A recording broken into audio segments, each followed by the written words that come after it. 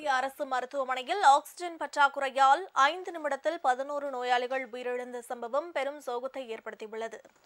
திருப்பதி அரசு மருத்துவமனையில் கொரோனா நோயாளிகள் ஏராளமானோர் அனுமதிக்கப்பட்டுள்ளனர். இந்நிலையில் நேற்றிரவு எட்டு முப்பது மணி அளவில் இந்த மருத்துவமனையில் ஆக்ஸிஜன் விநியோகம் தடைப்பட்டது. இதனால் வெண்டிலேட்டர் உதவியுடன் சிகிச்சை பெற்ற நோயாளிகளுக்கு மூச்சு திணறல் ஏற்பட்டது.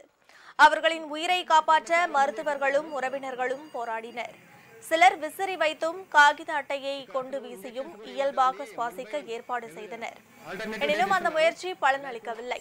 அடுத்தடுத்து பதினோரு நோயாளிகள் உயிரிழந்துவிட்டனர். ஐந்தே நிமிடத்தில் இந்த துயர சம்பவம் நிகழ்ந்துவிட்டது.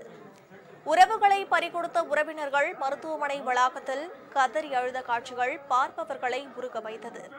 இதனிடையே லாரி மூலம் ஆக்சிஜன் விநியோகம் செய்யப்பட்டதால் பின்னர் இயல்பு நிலை திரும்பியது.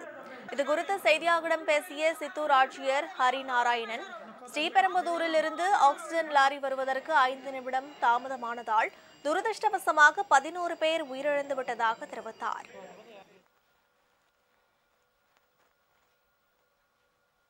ముప్పై మంది డాక్టర్స్ లోపల ఐసీయూలో వచ్చేసి పనిచేస్తున్నారు. వాళ్ళందరూ కూడా వీళ్ళ ప్రాణాలని కాపాడడానికే అన్ని ప్రయత్నాలు కూడా చేస్తున్నారు ఈ సందర్భంగా.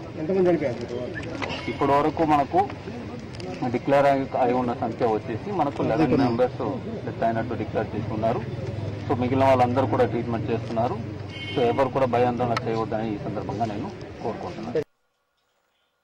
இந்த சம்பவம் குறித்து உயர்மட்ட விசாரணை நடத்திட ஆந்திர முதலமைச்சர் ஜெகன்மோகன் ரெட்டி உத்தரவிட்டுள்ளார்.